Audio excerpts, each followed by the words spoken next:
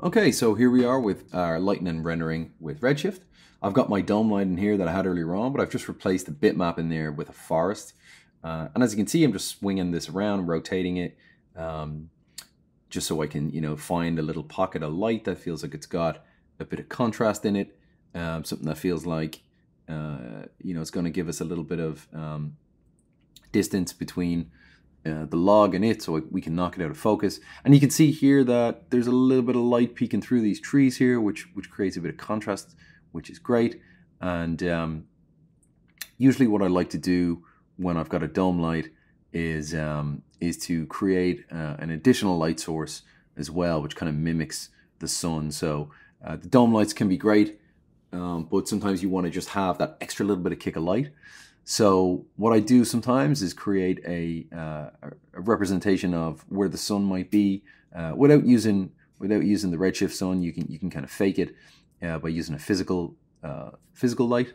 So I'm going to just pull down a physical light here, um, and in the light type, it kind of defaults to a very high intensity. In the light type, I'm going to create a, a directional light, which is going to essentially mimic the sun, and you can see it just automatically gave it a very strong rim there. Um, and now if I just orientate that around, bring the intensity down, orientate it around, uh, it's going to create uh, just that extra little bit of light spill onto onto the log. So usually what I try and do is mimic where I think that sun is coming from in the uh, in the actual environment map or, or um, in the live action plate, depending on what you're doing. And um, you can see here, I'm just going to bring the intensity up here just to create a little bit more uh, light. And that feels like it kind of balances out where the trees are a bit more in terms of brightness. It, it kind of matches a bit better. And it's casting some shadows here too. Um, so it's, it's uh, just given that extra little bit of detail um, that feels like, you know, we're, we're kind of lit from the top here. Um, so if I just give it a little bit of warmth, you can see some of the sunlight that's kind of coming in on that right hand side uh, is is giving us a little bit of um, a little bit of warmth. So just putting a little bit of saturation in that works quite nice. And I'm going to soften those shadows off as well because even though it's a sunny day, it seems like it's a bit overcast, uh, which is going to diffuse those shadows off. So I'm just going to create a little bit of uh, softness and rotate this around to try and uh, you know just just get it in line um, where everything else is.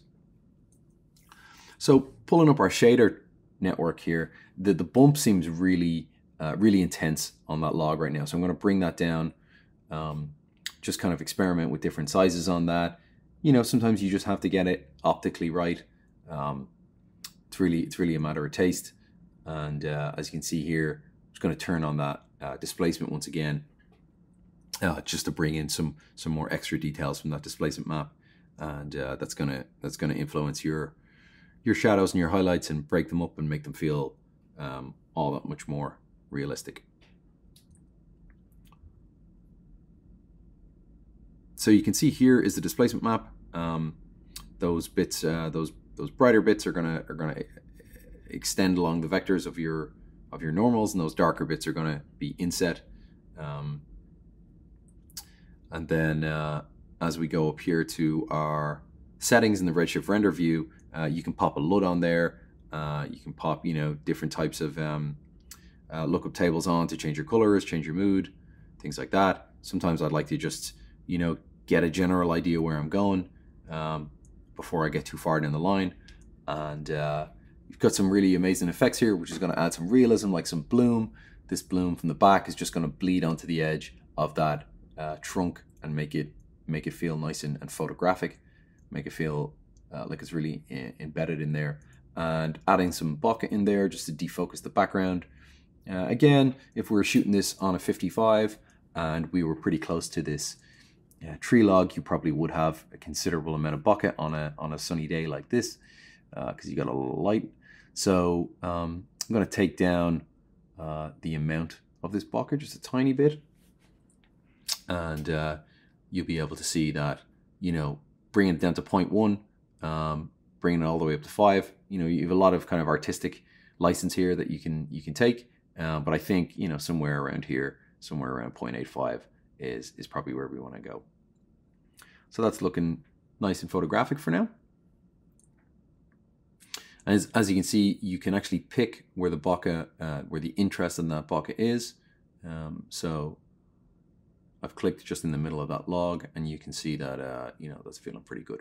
The one thing is that this bottom area feels really dark to me here. So I'm going to add a little light in here just to give it a bit of kick um, to kind of emulate what like a, a, bit of secondary light bounce would be. It would probably be, you know, uh, you probably just uh, give a little bit of secondary bounce up from from where that floor would be if you were that close to to the um, to you know that bright of a day, that close to the to the forest floor, you'd have a little bit of a kick up. So just gonna kind of arc direct this a little bit um, and uh, enable my Tyflow.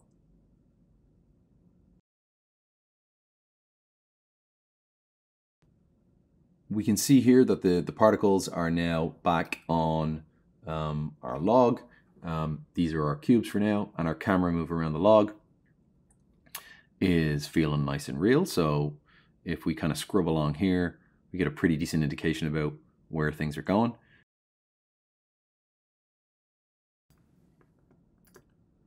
So you can see even though our particles are not showing up uh, in the render, they are in the viewport, but they're not showing up in the render. Uh, and what we forgot to do earlier on is go into Tyflow and take that mesh instance from event number one and paste that into event number two. So that's going to tell Tyflow and Redshift to to to render that event. Um, it's going to uh, you know essentially give it a a mesh or a renderable uh, tag in in Redshift, and that's going to render. So uh, in the next one, we're going to cover how to get the materials onto this and do all our instancing nice and correct.